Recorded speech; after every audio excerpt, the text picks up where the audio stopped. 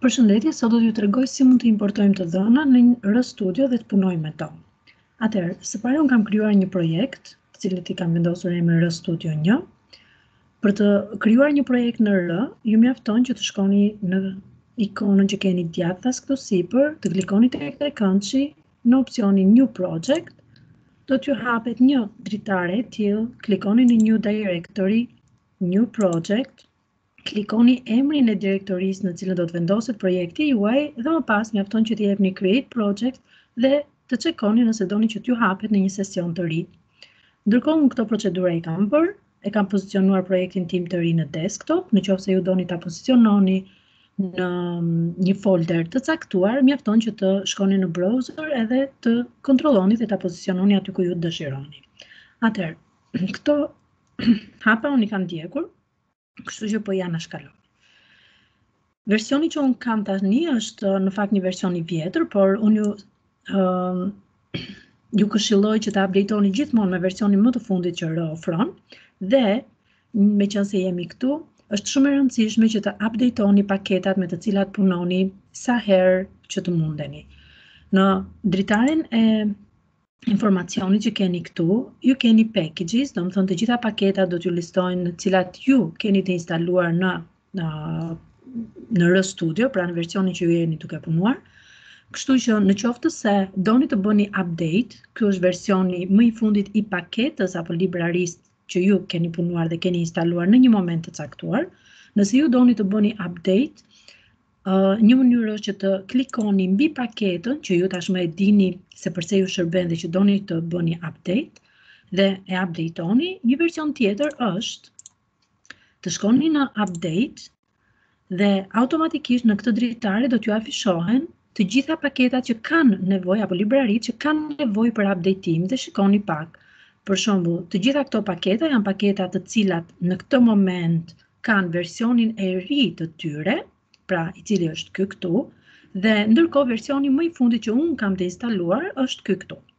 Atëherë, edhe këtu një mënyrë është të klikoni mbi ato paketa të cilat doni të updateoni, përndryshe, selektojini të gjitha, pra përzgjidhini dhe Klikoni mbi Install Updates. Për momentin unë nuk po shkoj në këtë procedurë, pasi nuk është ky qëllimi, por kjo është një ndër rrugët për të updateuar paketat ekzistuese, sepse sikurse e dini R ofron versione më të fundit në momente të kohës qoftë edhe pas një muaj pasi ju keni punuar me një paket. Pra, tregohuni të kujdesshëm sepse përndryshe disa prej funksioneve nuk do t'ju funksionojnë ashtu siç duhet, ose do t'ju nxjerrin ndonjë warnings apo konflikt me paketa të tjera që ju ofrojnë. Atëherë, unë nuk po shkoj në, në këtë procedurë, sepse qëllimi është tjetër në këtë prezantim.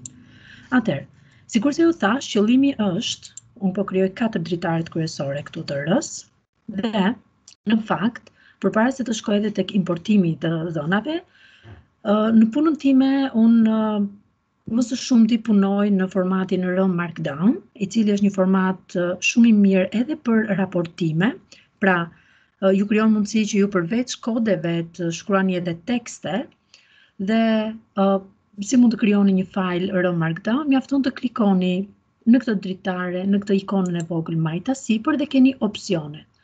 R notebook është versioni që unë do ju këshilloja që të krijonit. Në pamje të parë, ky është versioni dhe ju jep disa shpjegime. Atëherë, pjesa sipër këtu uh, qëndron për të vendosur informacionin apo header apo kokën e punimit tuaj dhe uh, pjesa tjetër është ju shpjegon mënyrën se si ju të krijoni një chunk të ri apo një rresht kodi të cilin ju dëshironi që ta ekzekutoni në momente të caktuara. Atëherë, unë po e fshij të gjithë këtë dhe kam parapërgatitur uh, këtë pjesë, domethënë për t'ju treguar. Atëherë, title ju ndihmon që të ju vendosni titullin e punës tuaj. Atëherë unë po e vendos si të importojmë të dhëna.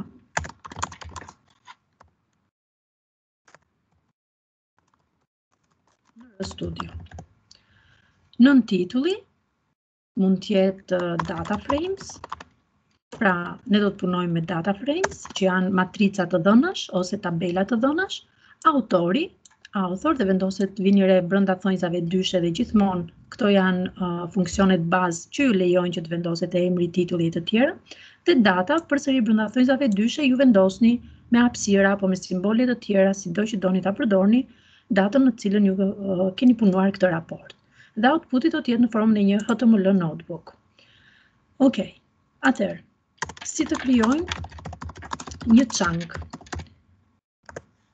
Një chunk i përshkruar thjesht për ju është një rresht apo një hapësirë, një shirit kodi, si të doni ju, në të cilin ju do të vendosni vetëm kode, pra vetëm librari, vetëm funksione të cilat ju ekzekutoni.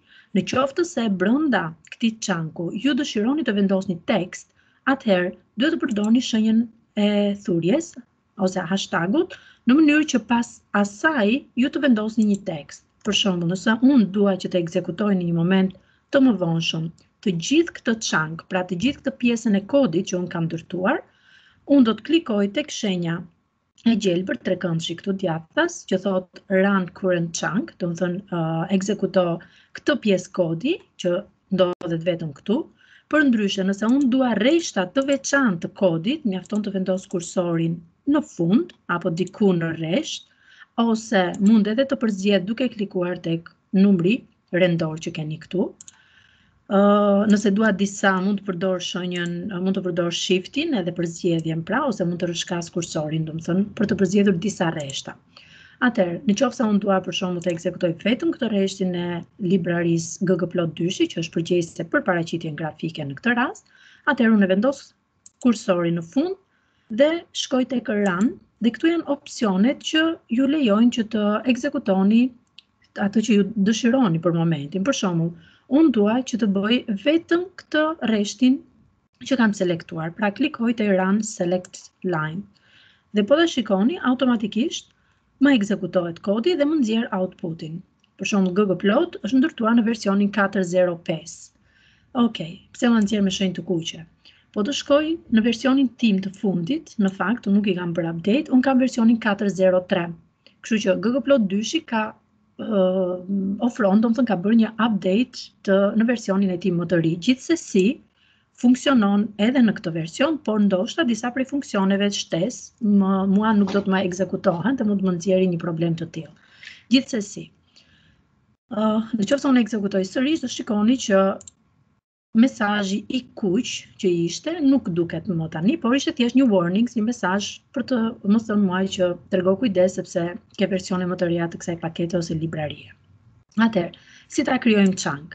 Mjafton që të shtypni Njëherësh, alt, ctrl dhe i. Pra, në qoftë se i mbani njëherësh i shtypura të këto tre butona, ju menjëherë do të, do të krijoni këtë chunk, në të cilin ju do të vendosni pastaj çfarë ju dëshironi. Atëherë, Po e lë këtë pjesë dhe po shkoj tek pjesa e importimit të databazave.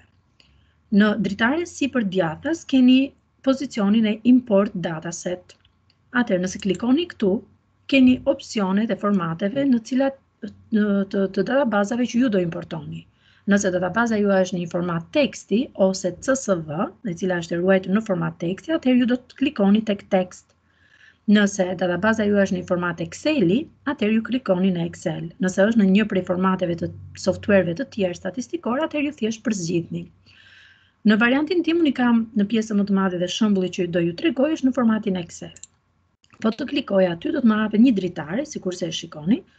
Në rreshtin e parë unë selektoj, përzgjedh databazën ku e kam të ruajtur, pra mjafton të klikoj në browse Dhe unë kam ruajtur në, në desktop në fakt, kam ruajtur këtë databazën Albania.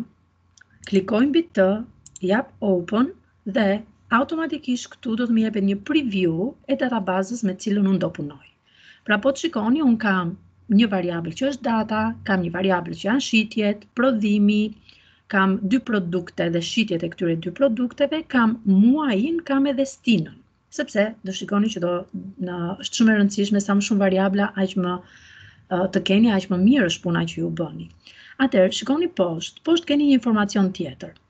Së pari, do të saktësoni dhe do shkruani emrin me të cilën ju do ta ruani këtë databazë, pra të gjithë këtë databazë që po importoni. Automatikisht R vendos titullin e e materialit, pra të, të dokumentit që ju e keni ruajtur, unë e kisha ruajtur Albania dhe automatikisht është Albania. Nëse doni ta ndryshoni, po e vendos data, vetëm kujdes, domethënë R Studio është case sensitive, pra nëse përdorni gërma kapitale, duhet të keni kujdes sepse ajo e ruan informacionin. Keni pastaj uh, sheet që janë faqet që ju do përdorni nga materiali që ju importuat, sepse çfarë ndodh?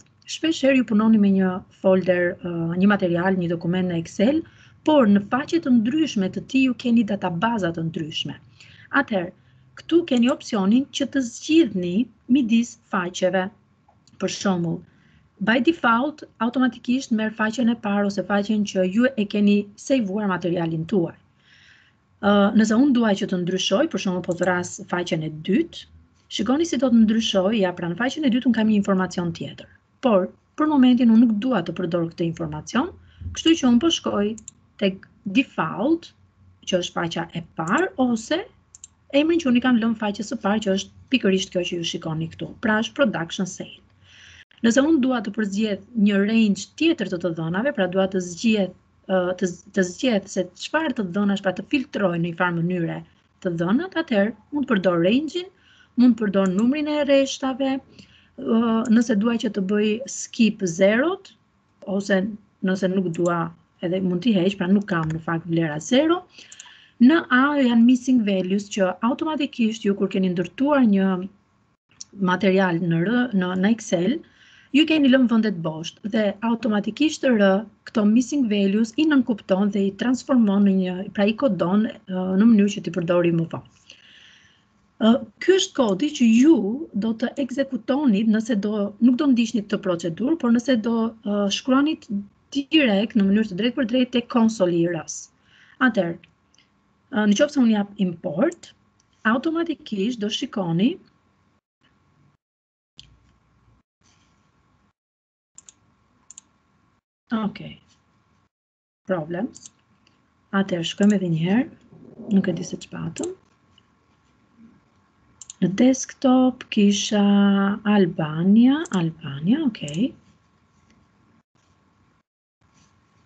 Po i jap edhe njëherë import. Ok, bukuri.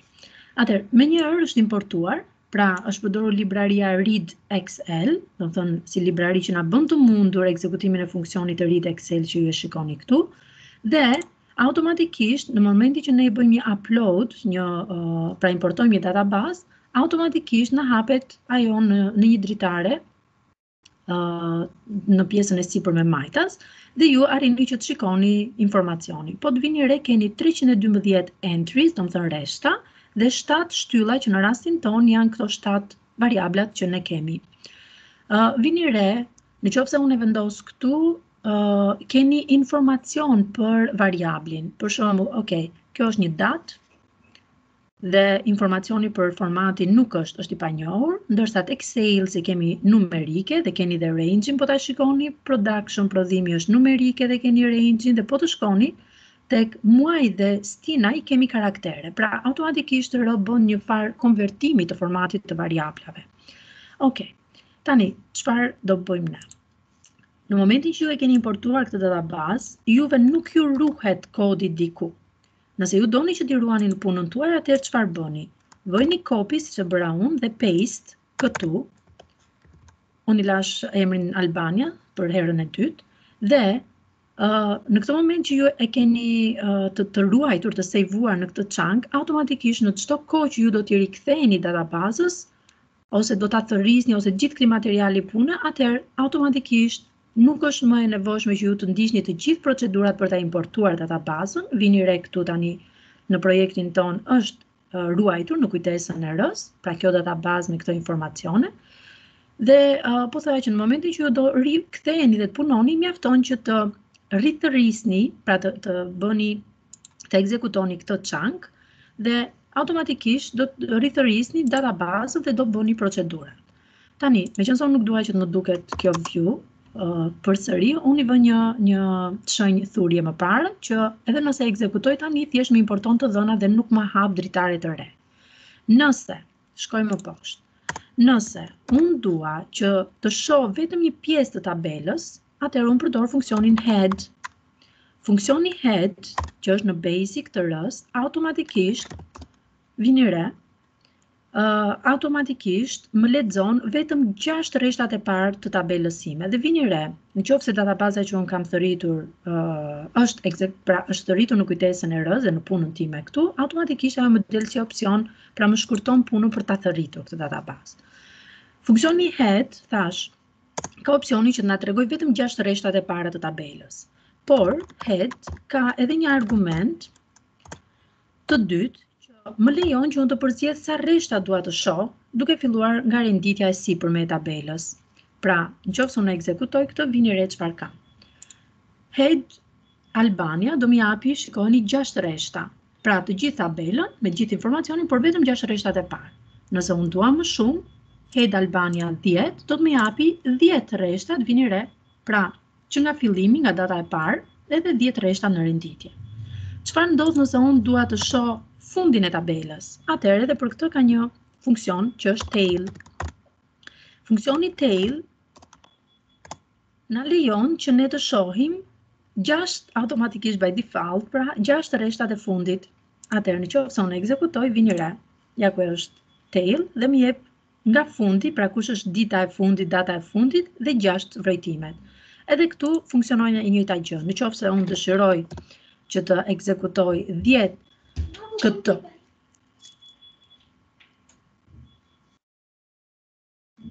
të ekzekutoj vetëm 10 të fundit, pra të shoh vetëm 10 të fundit, atëherë unë klikoj 10. Ok?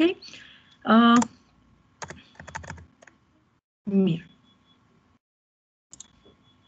mrekulli. Tani, çfarë ndodh në qoftë se unë dua të të punoj tani me një databazë të tillë, pra të, të ndërtoj grafik apo të bëj të tjera gjëra. Uh,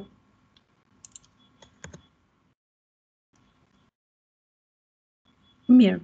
Në në momentin e dytë, ok, uh, unë do t'ju prezantoj në fakt një librari të re që është libraria esquisse dhe paralelisht do t'ju them diçka në lidhje me mënyrat se si ju mund të thërrisni variabla të ndryshëm në këtë në këtë data frame që ju keni krijuar. Ëm uh, Ok, mund të bëjmë edhe këto. Atëherë, si mund të thërras një variabël nga data baza? Uh, variabli që unë mund të thërras ka emrin e data bazës, për shembull është Albania, data baza ime, dhe përdorimi i shenjës së dollarit do të më ofrojë mua mundësinë që të shoh njërin prej variablave që un kam në databazën time. Për shembull, nëse un dua të thërras vetëm datën apo vetëm shitjet apo vetëm prodhimin, un mjaftoj ta selektoj këtë. Pra, po marr vetëm këtë si si variabël dhe po ta ekzekutoj, automatikisht më jepet, më ofrohet pasqyra vetëm për sales, ok? Nëse unë dua variabla të tjerë, përsëri, mjafton që unë të përdor shenjën e dollarit edhe thërras një informacion tjetër. Tani, në qoftë se unë dua prodhimin, por, dua vetëm, uh, uh, domethënë, po them 100 rreshtat e parë, atëherë unë përdor kllapat katrore që më ndihmojnë që të selektoj, të përzgjedh në data frame-in tim dhe saktësisht këtu në variablin production vetëm 100 rreshtat e parë. Që do të thotë, nga njëshi deri në 100 dhe ok, e vendos kështu. Atëherë, Vini re. Pra, vetëm në variablin production unë kam 100 vrojtimet e para. Në të njëjtën mënyrë unë mund të përzgjedh edhe të tjerë. Pra, nëse unë dua të krijoj një vektor të ri, unë mundet dhe ta emërtoj këtë, për shembull vek një, pra vektori i parë. Dhe automatikisht, për të kuptuar se ç'ishte ky vek një, unë duhet ta thërras. Pra, vini re po ekzekutoj të gjithin edhe një herë. Kam së pari të gjitha shitjet që më janë ekzekutuar këtu dhe së dyti janë 100 vlerat që unë i shënova dhe i shkruajta vek një, vektori i parë. Çfarë ndodh? Ë, uh, unë mund të bëj edhe diçka tjetër këtu. Unë mund të përzgjedh në databazën time Albania, ok, vetëm 100 rreshtat e parë, atëherë nga njëshi në 100, dhe vetëm variablin, atëherë le të themi të parin që është data, dhe dua vetëm produktin, shitjet e produktit që është 4. Atëherë, vetëm uh, njëshin, do përdor shenjën e vektorit për të me thënë që dua njëshin dhe katërën. Vini re tani çfarë kam qoftë se ekzekutoj. Pra, kam datën në 100 rreshta, po, po ta shikoni keni të gjitha faqet këtu që shkojnë më tej, unë po shkoj tek e para, dhe vetëm produktin. Pra, Duke përdorur pikat si vazhdueshmëri, ne zgjedhim një varg vrojtimesh, rreshtash, për shembull, dhe nëse duam të veçantë, rreshta ose shtylla, ne përdorim c-në, shenjën, simbolin e vektorit, edhe vendosim këtu cilat shtylla apo rreshta, më falni në rastin tonë, shtylla apo variabla, unë dua që të thërras. Nëse dua më shumë, provoni këtu të vendosni edhe gjashtën, dhe vini re, po ta ekzekutoni, do t'i shtohet edhe muaji që është variabli i gjashtë. Pra, kjo është një formë filtrimi që ju mund të bëni duke përdorur kllapat katrore tek databaza juaj. Ok, atëherë, për pjesën e, e paraqitjeve grafike, unë do t'ju ftoja që të më ndiqnit në videon e dytë, që do të përqendrohet tek përdorimi i paketës esquisse edhe ggplot-it.